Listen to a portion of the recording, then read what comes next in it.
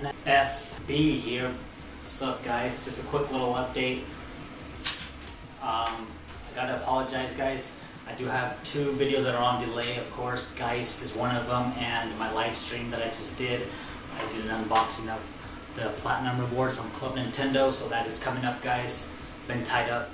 Um, so I'm just gonna give you guys a little update on what's going on with uh, Nintendo and the Wii U, 3DS, stuff like that, stuff to expect. So um, right now there's another Wii U update available, so if you haven't updated your Wii U, might want to update it. Yeah, so you might want to update it. There was a Nintendo Direct. I still haven't seen it all yet. Been really busy, so haven't seen the whole thing yet. But very promising things. Very promising things. Lots of games. Lots of games. So um, today there's I just found out lots of things about Team Ninja, know, the guys that made uh, Metroid Other M. They also made Ninja Gaiden, Razor's Edge, really cool game. Um, so anyways, um, there's gonna be new DLC, free DLC, free, free. Can't beat free.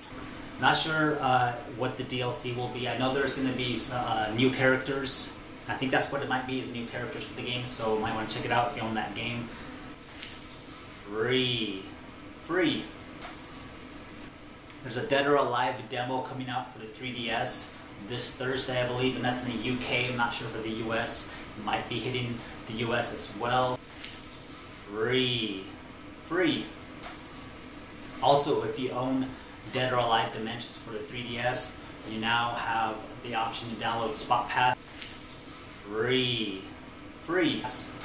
Um, every day I think they're to have new characters for about a week. I believe this starts next week, so hit that Spot Pass up if you own that game.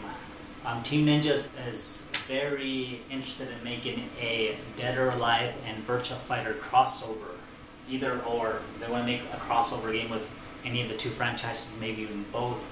Because so that's interesting. You know, it's a short little video. Like I said, I got two videos that are on hold. I'll have that ready for you guys soon, this week definitely. So, oh yeah, that's right. Um, those of you guys who hit me up on Facebook, I appreciate the support, feedback, everything. You guys are awesome here on YouTube as well.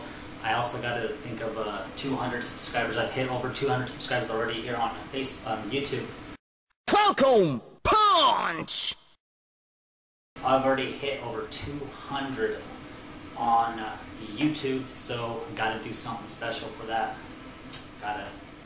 Alright guys, well stay tuned for the two videos coming up this week, so alright guys, peace out.